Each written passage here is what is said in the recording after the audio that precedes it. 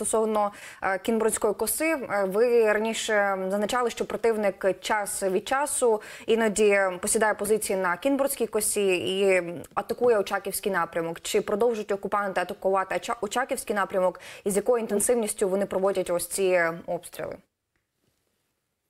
Е, Так, як я також зазначала, що там дуже суттєво впливають на цю роботу і погодні умови. І ось зараз цими днями.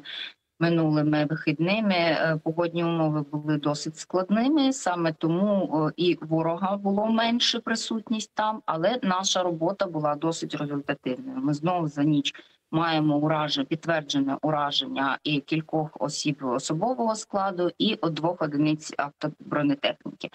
Е, Це говорить про те, що вони залишають там спостережні групи, а бойові підрозділи підтягують на час проведення безпосередньої атаки, тобто. Побоюючись бути ураженими, вони там на постійному е, на постійній основі не залишаються.